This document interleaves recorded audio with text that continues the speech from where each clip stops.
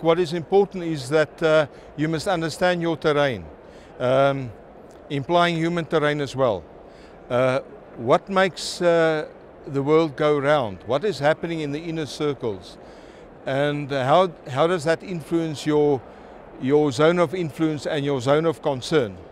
And then really to go and sit down and assess that situation, decide where you want to go in terms of uh, the short, medium to long term uh, situation that you, that you wish to create.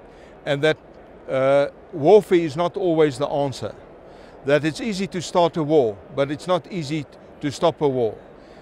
And um, that you must, that you must get PP, key people involved, the key role players, the guiding coalition, so to speak, but people who are really serious about creating peace over the long term and um, to think about the people on the ground who are suffering because uh, I think it has become necessary for people to be responsible and to take ownership for the suffering of the people on the ground. So military forces really have a role to play in terms of establishing a firm basis for change and uh, to start developing from that. I think the Ratel uh, infantry combat vehicle or armored combat vehicle is probably one of the best examples. Um, you, you need an armored force that uh, does not only possess tactical mobility but strategic mobility as well. Light forces that, that can move far and wide and um, the uh, tactics they employ should be based on uh, maneuver warfare uh, tactics. And one of the big problems in Africa, if we, if we think about Africa as such, are the problems with infrastructure. You don't have infrastructure.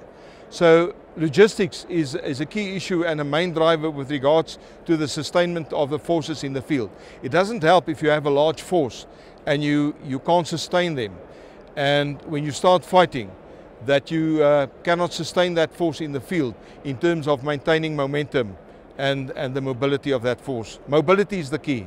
I believe there was one um, uh, a, a, a good example of a long distance raid that was uh, carried out from uh, Central Africa to, uh, to the outskirts of Khartoum. Yeah. I think those are the type of tactics that uh, one should look at when we think about fighting in, fighting in Africa. I think one of the first things that uh, I would like to uh, share with you is the importance of, of intelligence, not only tactical intelligence, but strategic intelligence as well. To me, that is the key driver, to know what is going on, not only on the other side, but on your own side as well, and to assess the situation from that. But be, to be able to preempt, because preemption and disru disruption and dislocation are the, is the key. The, co the combination of that is the key to fighting in Africa. And then to have to be proactive, to have the mobile forces available to do uh, uh, uh, surgical insertions in Africa and to gain the initiative. If you don't have the initiative and freedom of action, you have a serious problem in Africa.